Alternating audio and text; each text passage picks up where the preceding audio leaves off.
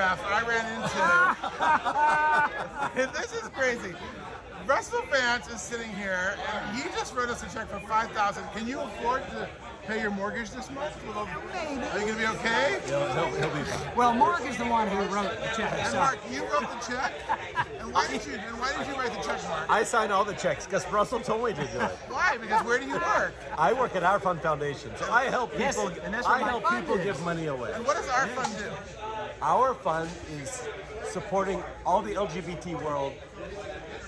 all the charities. Yeah. So you go to you go to poor people like Russell Vance and take their last dollars, and you, you make them give the money. And, make, and they make me give it all That's away. right. Yes. And you do. And it works. And you are unbelievably generous. Oh, thank Why should people support the arts, Russell?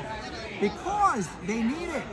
108 Waverly. How much did it cost to produce? Seventy thousand. Seventy thousand dollars. And how much is going to bring it? And it's selling like hotcakes. And- Yes. And, sold out. It can only bring I in know. forty-five. But And that's it.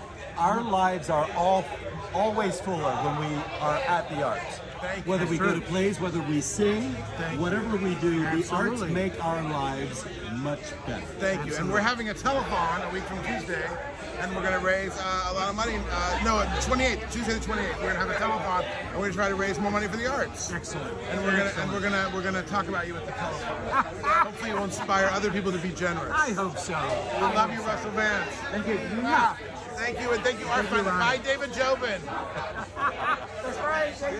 That's right. Thank